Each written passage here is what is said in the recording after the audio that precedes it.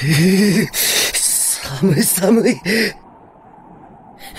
早く戻ってこないかな。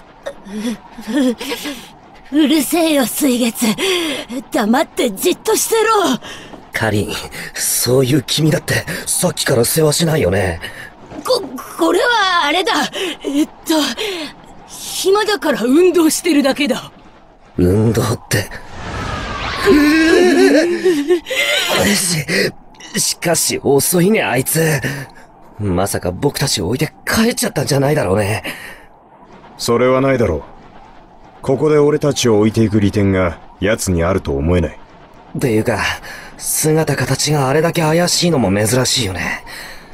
馬鹿正直についてきてよかったのかな。ねえ、サスケ。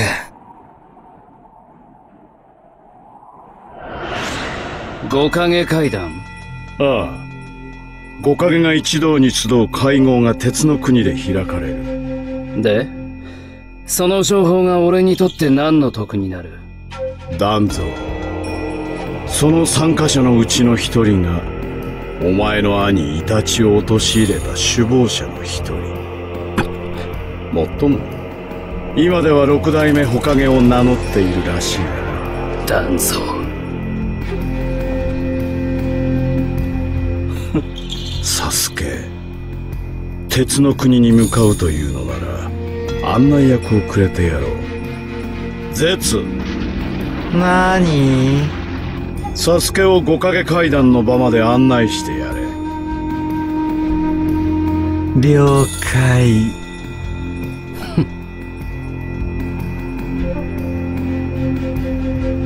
戻ってきたようだ。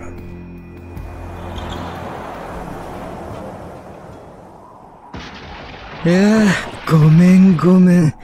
ちょっと遅れたかな？ちょっとじゃねえよ。おかげで凍え死ぬところだっただろうが、バカ野郎。あ、やっぱり寒かったんだ。あそれで、どうだった？さすが五影階段の会場だね。なかなかの警備だったよ。え？それじゃあ会場に侵入するなんて無理なんじゃないの？いやどんなに強固な壁も必ず穴はあるものさ。ついてきな裏口まで案内するからさ。